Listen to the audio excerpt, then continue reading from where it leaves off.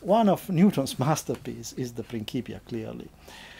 Um, printed in 1687, this was a work that was to change the history of science, really. Uh, from the title, we understand that this work is devoted to the application of mathematics to natural philosophy, which were then Newton's mathematical tools in the Principia.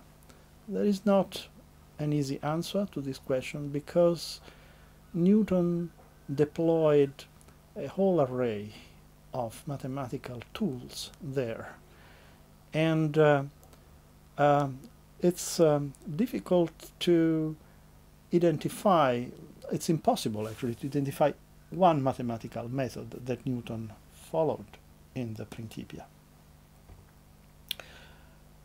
In fact, in the Principia we find the method of first and last ratios from the very beginning, the method that Newton developed in the early 1680s. And uh, this is a method that allows him to deal very effectively with uh, some problems concerning central forces in the first three sections of the Principia. The problems in the first sections of the Principia, in the first, in the second and third section of the Principia, is the following. We are in void and we have a body that moves in void attracted by a central force towards a center of force. And we know the trajectory that the body is traversing and we are asked something about the force, how the force varies with distance. So for instance, if the body moves in a logarithmic spiral and the center, center of force is at the pole of this logarithmic spiral, then the force varies as the inverse cube of the distance. Or if the body moves along an elliptic trajectory and the center of force is in the center of the ellipse, then the force will be elastic. The force will vary directly with distance. So the distance doubles, the intensity of the force doubles. And of course, as we all know, if the body moves in a conic section and the force is directed towards a focus, then the force varies as the inverse of the square of the distance. And this is one of the main results in section 3. Now, in dealing with these things, Newton is not using algebra, is not using symbols. He is very successful in using geometrical reasonings that are based on his method of first and last ratios because Newton has to calculate the ratio, the limit to which certain ratios of geometrical quantities tend when these quantities tend to zero uh, in the same instant. All right. So we have a ratio between a geometrical quantity at the numerator, so to speak, and another geometrical quantity at the denominator, if I may use this terminology. And then uh, these two magnitudes go to zero together in the same instant, they become zero, and we have to calculate the limit to which this ratio tends. And Newton, in calculating these limits, employs geometrical reasonings. But this is what Newton does in the first three sections of the Principia. After that, we find section 4 and 5. What do we find in section 4 and 5 of the Principia? We find results on conic sections and other geometrical problems that Newton achieves via, I would say, a handling of classical properties of conics and via an understanding of certain propositions in projective geometry that he had uh, achieved uh, in the 70s. Now we are in section 6 And the first proposition of section 6 is a proposition in which clearly Newton is using an algebraic equation. So we are not in the field of geometry here. We are, uh, we, we, are, we can see Newton employing algebra in order to solve that problem. And after that proposition, we find another proposition where Newton, in order to solve the so-called Kepler problem, uh, gives an account of the so-called Newton-Raphson method, that is a method for approximating roots of equations. We move on, and we are in section 7 and 8. And what do we find in these sections? We find Newton dealing in very general terms with motion in, if you allow me an anachronistic terminology, motion in a central force field. So we have a body that is attracted by a central force and we are studying the motion of this body. Now, the propositions that Newton develops in section 7 and 8, in particular the proposition from 39 to 42, are propositions which begin with the following statement. Granting a method for squaring curvilinear figures, the following problem is solved. Concessis quadraturis uh, curvarum linearum. Uh, what does it mean? It means that the problem is solved if we know how to square a curve, if we know how to calculate the area of a curvilinear surface. So we can say in modern terms that in these propositions Newton reduces the problem uh, central force motion to a quadrature, to an integral. In the Principia, in the corollaries to these propositions, in, in particular in the corollaries to proposition 41, Newton provides an answer to some of these problems that clearly depends upon the upon an integral. So he performs an integration. He performs the quadrature of a curve, so to speak.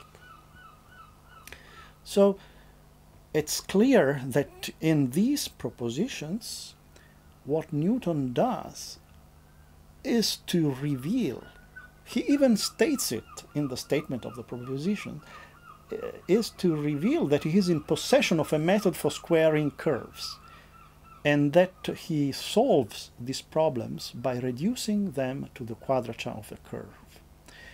I could uh, continue with other sections of the Principia, um, but from what I have said, you can immediately perceive that what Newton is revealing in the Principia is a very rich toolbox, so to speak. He has many methods, many mathematical methods, geometrical limits, projective geometry, uh, algebra, approximation techniques of al algebraic equations, integration techniques.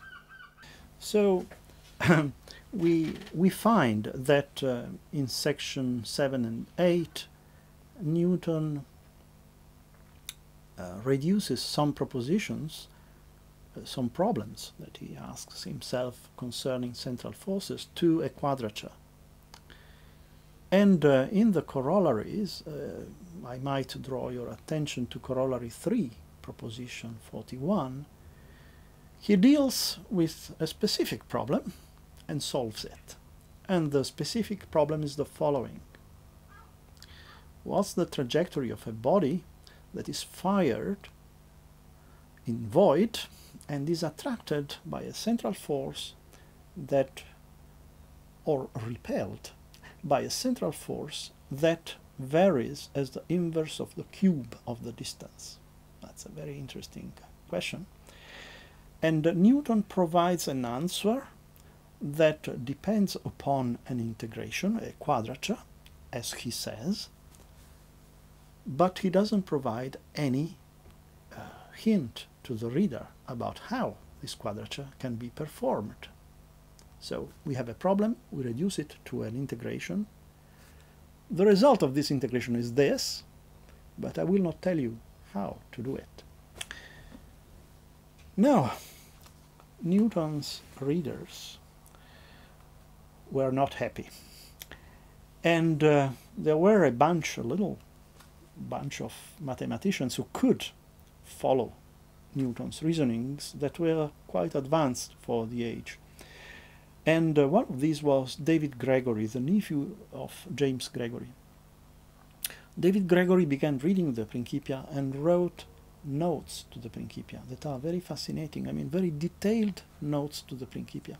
And when he arrives at Corollary 3 to Proposition 41, he doesn't know how to to to make sense of what Newton is doing.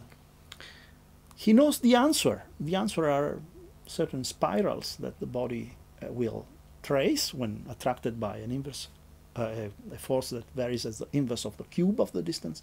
But how could Newton get the answer? Now, uh, there is a letter by Newton to Gregory, uh, it, I think it's May 1694, in which Newton explains to Gregory how to do it. And what Newton does is the following. He says, let the force be denoted by F. Let the distance be denoted by x. Let the velocity be denoted by v. He's using symbols, not geometry. And he writes what Newton calls a fluxional equation, what we would call a differential equation, and explains to Gregory how to square this equation, or in Leibnizian terms, how to integrate this differential equation. And the result is what is printed in the Principia. Now, this is one example. I could uh, provide other examples uh, with Roger Cotes and other acolytes of Newton who approached him asking him questions concerning the Principia, and we find that Newton in the 90s, in the 1690s, replies to these interested mathematicians by providing uh, details about the quadratures that are necessary or the integration that are necessary in order to prove these propositions. Now you might ask, ask me, but uh, so there is a hidden symbolic principia written in the language of calculus? The answer is no. Uh, the propositions in which Newton makes recourse to quadratures are I don't know the 10% of the Principia perhaps I don't know I, am not able to to uh, now to to estimate it but um, what we have seen, what what you can see uh, in the Principia when you see Newton using quadratures and explaining to his acolytes how quadratures can be used in order to uh, solve problems, is not the rule. is one of you know is one of Newton's tools. Let us say so. So um, this is the first thing. The second thing is that uh, compared to Euler, for instance Newton's use of calculus or Newton's use of the method of series and fluxions in the Principia is sporadic, if I may say so. So the structure is geometrical. At a certain point, Newton arrives at a step that requires uh, certain algebraic or calculus techniques, typically the integration of a differential equation. And he does it. Um, Euler is different. I mean, Euler, who was a student of Johann Bernoulli, begins from the beginning with the calculus. He states the basic laws of mechanics in calculus terms, and everything is carried out in symbolic terms from top to down, so to speak, while Newton's use of calculus techniques in the Principia is subservient to geometry, so to speak.